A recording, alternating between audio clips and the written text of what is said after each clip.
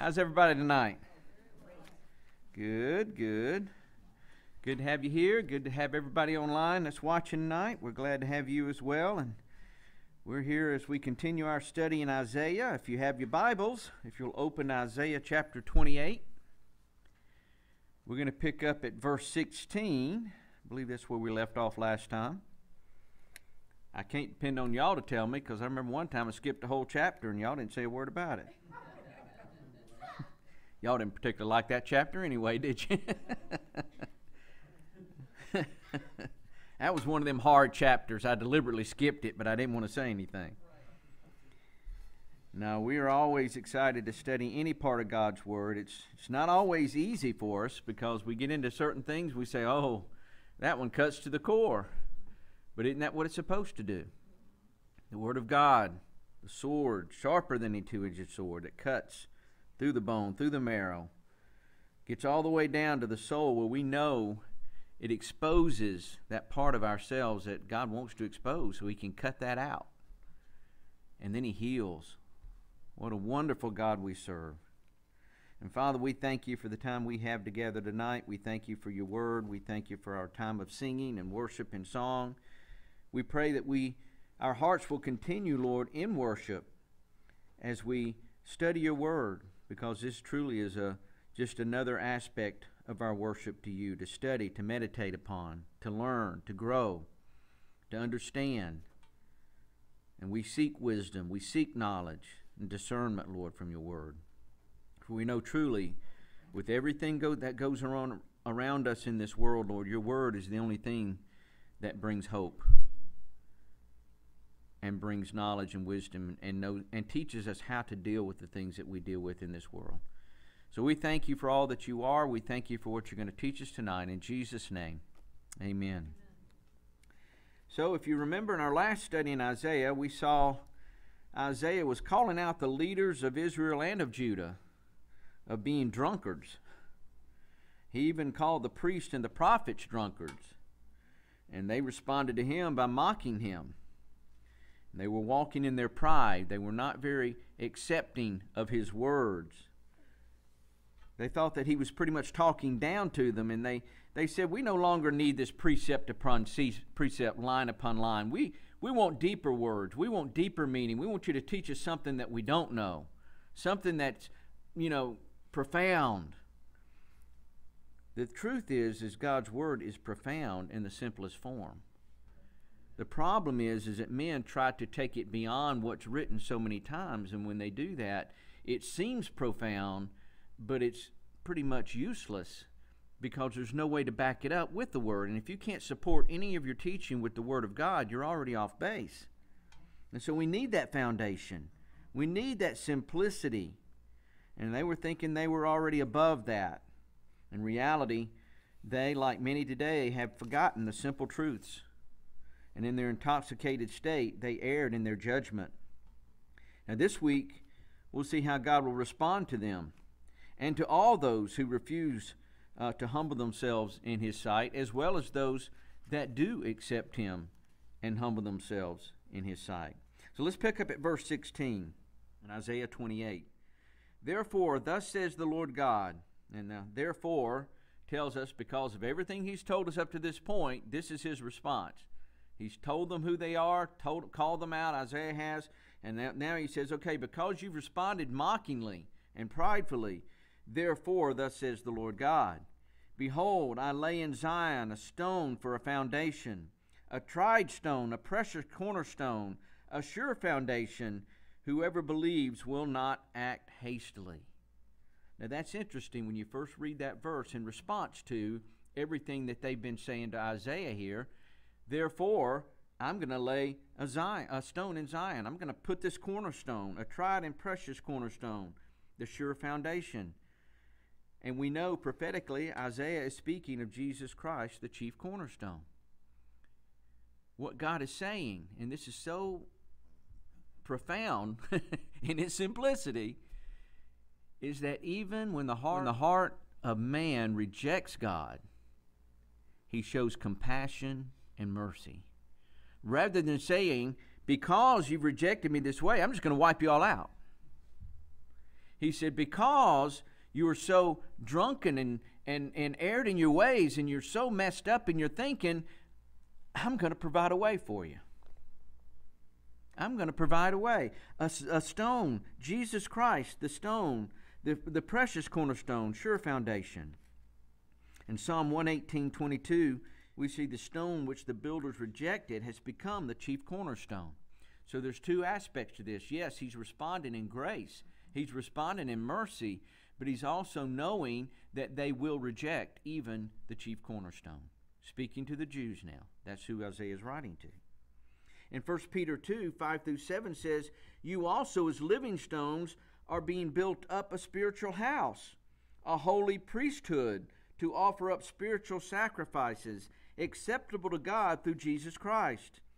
Therefore, it is also contained in the Scripture Behold, I lay in Zion a chief cornerstone, elect, precious, and he who believes on him will by no means be put to shame.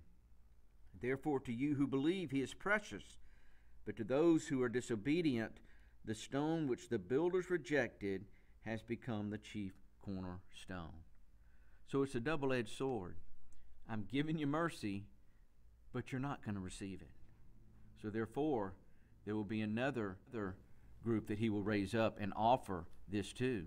There will now be open the door to the Gentiles because of the rejection of the Jews. And here in Isaiah, they're told again that this cornerstone will be laid. Jesus himself, their Messiah, is coming. And everything we built be, will be built upon him. All the law and the prophets will be fulfilled in him. And it will be all about faith in him, not about the works of the law. This is, again, if you look at this in context with what Isaiah is saying about the cornerstone, this is the whole picture that we have before us today. This cornerstone is now laid for those who have faith, not of works. It's no longer going to be about fulfilling the law. It's no longer going to be about abiding by this rule and that rule and doing all these things. We now have the fullness of the law fulfilled in Jesus Christ, and which is also fulfilled in us, to where these law, the, the written law, is no longer in effect. It's now written upon our hearts. I will give them a new law, and I will write it upon their hearts. And we now have the history behind us. We see this, this law was fulfilled in Jesus over 2,000 years ago, and they didn't believe. But because of their unbelief, the doors opened to the Gentiles, and the church was born. Romans 9, verses 30 through 33. What shall we say then? That the Gentiles who did not pursue righteousness have attained to righteousness, even the righteousness of what? Of faith. But Israel, pursuing the law of righteousness, has not attained to the law of righteousness. Why? Because they did not seek it by faith, but as it were, by the works of the law. For they stumbled at that stumbling stone. As it is written, Behold, I lay in Zion a stumbling stone and a rock of offense, and whoever believes on him will not be put to shame. So today we have, we have Jesus Christ, our Lord and Savior, who is our chief cornerstone, who we're building our lives upon, the church, you, me. We are the church, not the building. We're not talking about the building. We're talking about the church. And the church is built upon Jesus Christ. He is the cornerstone. But for those who do not believe in him, they trip over him. He causes them to stumble. He's the rock of what? The rock of offense. He offends those who don't believe. And what's the word of the day? I'm offended. Offended, offended, offended. Everybody's offended. They need to get over themselves, but everybody's offended. But when it comes to Christianity, in this country today, or even around the world, Christianity is the one that all the tolerant people cannot tolerate. Why is that? Because he's the rock of offense. he offends every other religion. He offends every other person who doesn't believe. He offends the atheist. He, he, he offends the Islamics. He, he offends the Buddhists, the Hindus. All of them are offended at Jesus, even though most of them recognize that he was alive. He was a prophet, some of them call him. But to go beyond that offends them because they cannot submit to a holy God who sent his son to die for us and then he's rose he rose again and ascended to heaven and sits at the right hand of the Father. This is the God that we serve. And for any other belief system out there, whether they claim not to believe or they claim to believe, whatever it is, they are offended by the truth. Jesus is the way, the truth, and the life. So he brings offense. Now, does that mean that we go out with the Bible and swing around and offend people by hitting them upside the head with it? No, we don't have to do that. Why? Because the Word of God does its own offending and we don't have to defend what offends. All we have to do is live it, preach it, study it, meditate upon it, believe it. That's all we're called to do. And as doing that, as we move forward, the offense comes. We need to be prepared to stand in the midst of the offense because the offenses are going to increase the further we go down the line. This is the way it's got to be. The scriptures make it very plain. Jesus said, They hated me, they're going to hate you also. If I offend them, you're going to offend them. And so, as believers, we need to be prepared for the defense coming at us, which will be really an offense against us, but we don't have to defend anything. Even Jesus told his disciples, when you're hauled into court, and they, they threaten you with all these things. Don't worry about what you're going to say. The Holy Spirit Himself will tell you and put the words in your mouth of what you're to speak. That's a relationship with God we need to be seeking. That's the walk we need to have. We're so close to God. We're so, we've studied His Word. We're so close in walking in the Spirit that when something comes our way, we don't immediately go into the flesh and try to defend ourselves or defend what we believe. We just stand and let the Holy Spirit speak through us and He will do the job. That may not make it easy on us at the moment. Truth still doesn't mean that they're going to receive it, but it means that we don't have to be the ones to defend it.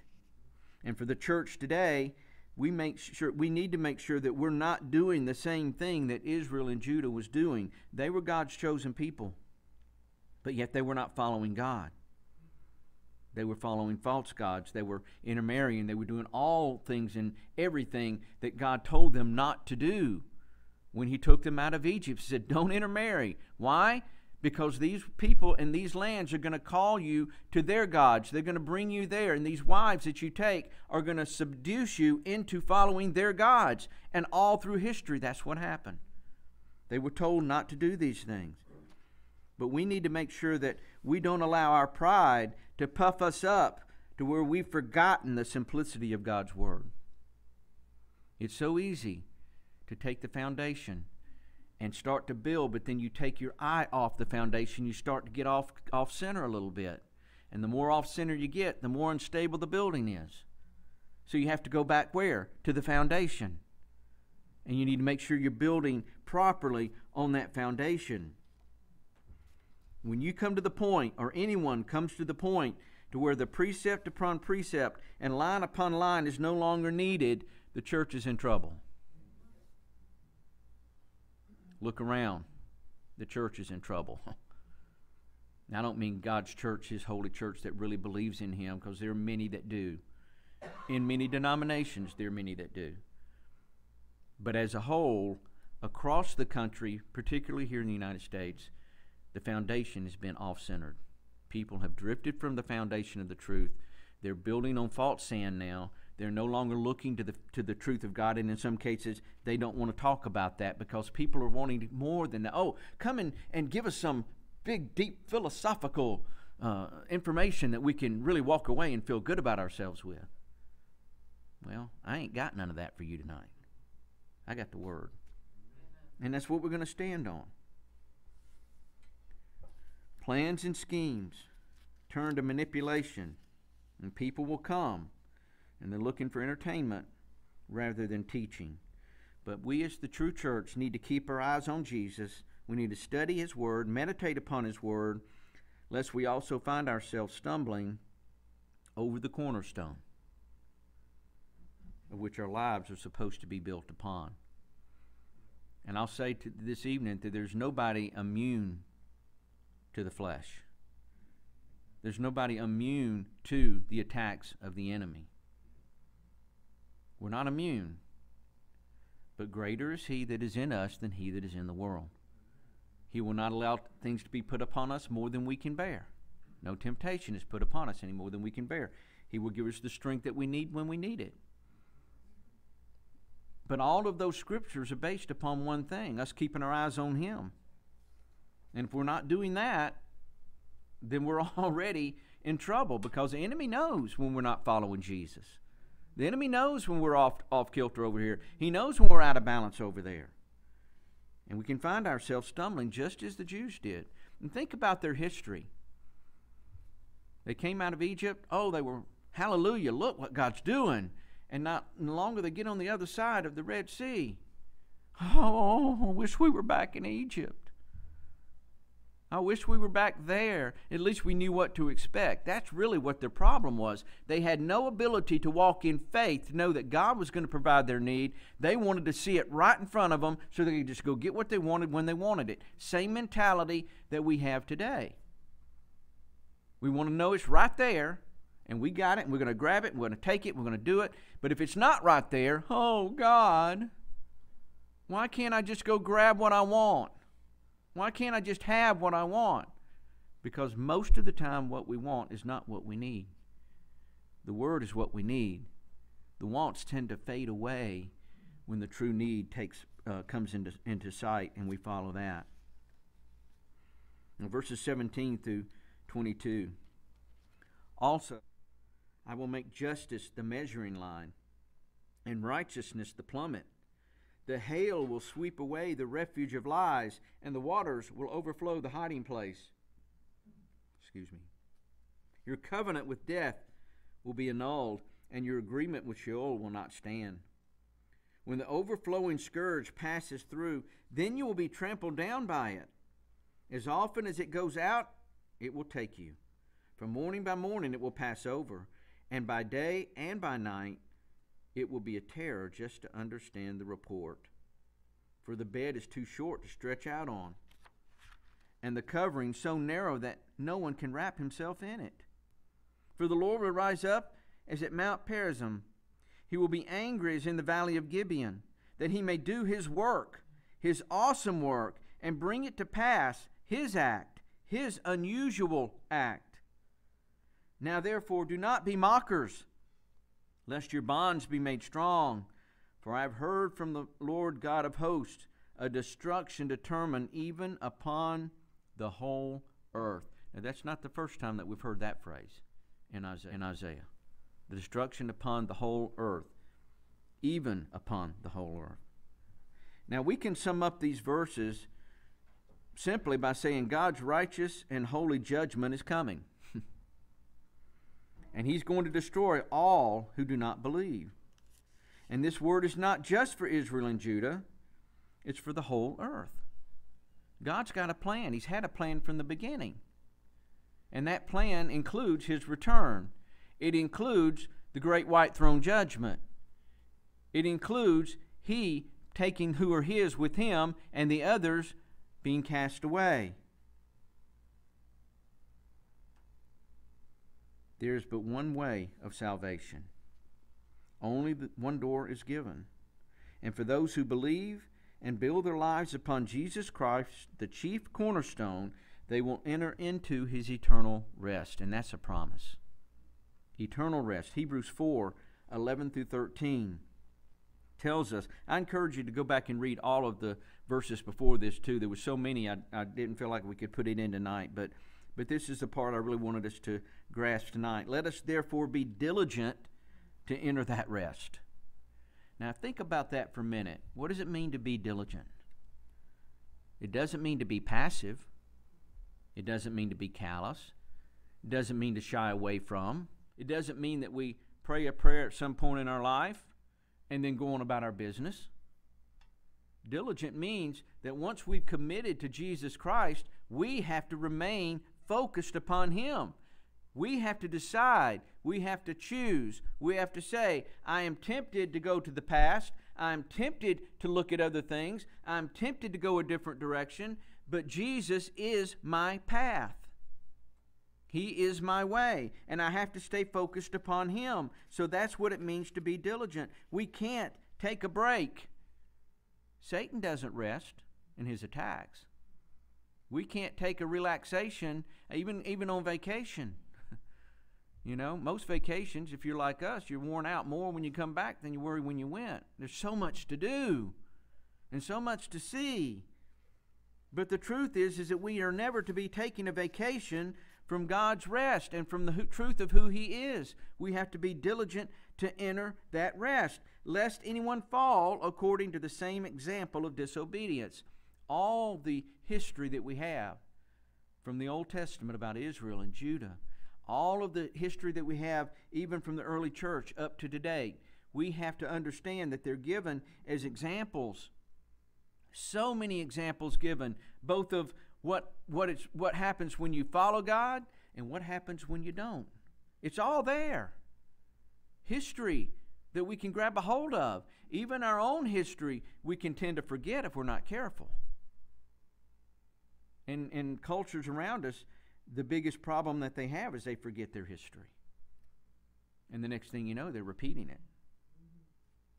For the Word of God is living and powerful and sharper than any two edged sword, piercing even to the vision of soul and spirit and of joints and marrow, and is a discerner of the thoughts and the intents of the heart and there is no creature hidden from his sight, but all things are naked and open to the eyes of him to whom we must give an account.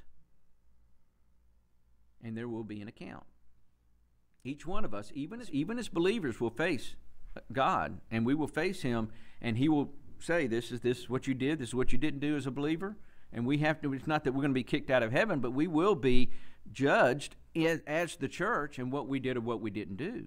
There's an account to be given. Now, then you have the other side of that those who have nothing to bring to the table at all because they didn't accept Jesus as their, as their Savior Lord. Their account is already tallied, their account is over, it's empty, and they have nowhere to go but to be separated from God. For for those who do not believe, they have an eternity without rest. We're promised rest. And for those of us who are really diligently seeking Him today, we can find that rest today. We can walk in that rest today. But for those who are not, we can't. And many times, even believers are always looking at the rest to come, and they want to rest on the on the laurels today because they haven't really gone out and, and thought about what it really means for the future. And that's all they're really thinking about: what's going to be like, what's going to be like, what's going to happen, and am I going to have this rest, and am I going to have this crown, and all these things that they think about none of that really matters. The crown that we're going to receive is a relationship with Jesus Christ, and that's the only crown that makes any difference. But he will judge. And for those who, not, who do not believe, they have this eternity without rest. Matthew 13, 41 through 42. The Son of Man will send out his angels, and they will gather out of his kingdom all things that offend, and those who practice lawlessness and will cast them into the furnace of fire. There will be wailing and gnashing of teeth. Interesting here. Today, everybody's offended because of Jesus. In this particular passage here, the angels will gather all that offend him. So you can be offended by him, but it's all you're doing is offending him and that will come around, and you will be judged for that. Those who practice lawlessness and will be and they will be cast into the furnace of fire. There will be wailing and gnashing of teeth. So if you don't believe that there is an afterlife, and that you don't believe that you, there is a hell, then you don't believe what Scripture says. Because that's what it says right here. They will be cast into the furnace of fire. Now, Jude, verses 12 and 13, he's talking about the apostates. He says, These are the spots of your love feast. While they feast with you without fear, serving only themselves, they are clouds without water, carried about by the winds, late autumn trees without fruit, twice dead, pulled up by the roots, raging waves of the sea, foaming up their own shame, wandering stars from whom is reserved the blackness of darkness forever. And this, those who some of them are in the church who are no longer believing. They are leading other people astray. And that's where they're going to wind up. The church today needs to be awake. We need to be alert. For this judgment, often called the day of the Lord, is coming. And it's sooner even than we first thought. I mean, again, Jesus spoke to the Pharisees, he spoke to the scribes, he spoke to the to the leaders of Israel and said, You can you can see the weather and you can read the signs, but you're not seeing the signs of what's happening around you. They missed Jesus, their own Messiah. We today, it's very easy if we're not careful to be pulled into that way of thinking, well, you know, it's, I mean, I don't know. It may be another thousand years, maybe another 10,000 years. I don't know the timeline. And I will say this that there have been many prophetical books that have been written and they've been in error because all they saw was what was going around them. But without putting ourselves into too much risk here, we can look around and see some signs, can't we? Can we not see the, the signs of the times? When we see talk of one world government more than it's ever been, and having a springboard of a pandemic to use to do it with, they're still pushing this. I mean, you can find it. It's out there. And again, as I said Sunday, I will have a video together soon that, that will begin the process of, of uh, dissecting some of these things for you guys to take a look at and pass on. I encourage you to pass them on to others as, as I do that. But the thing is, is that we need to be alert and paying attention to what's going on around us. And I don't encourage you to go sit and watch the news because they're not going to tell you the truth. But the truth is here.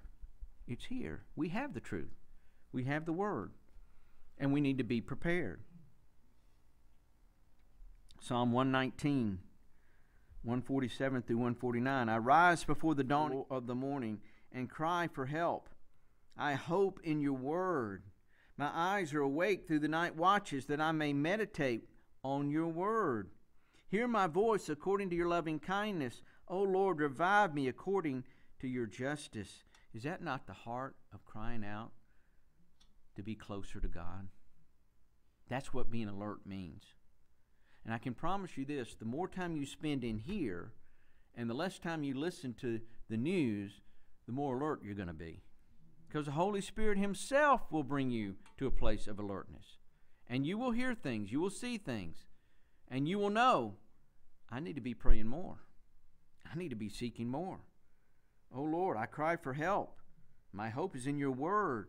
My eyes are awake through the night watches that I may what? Meditate on your word. This is something that we're called to do. We have to do this. Hear my voice according to your loving kindness, O Lord. Revive me according to your justice. And Romans 13 11. And do this, knowing the time that now is high time to awake out of our sleep, for now our salvation is nearer than we first believed. Now I can promise you this, if you read Romans 13, 11 every morning, how true is it?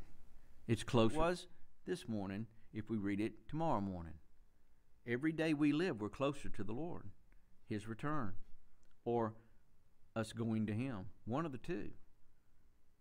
And there is no escaping death if the Lord does not tarry.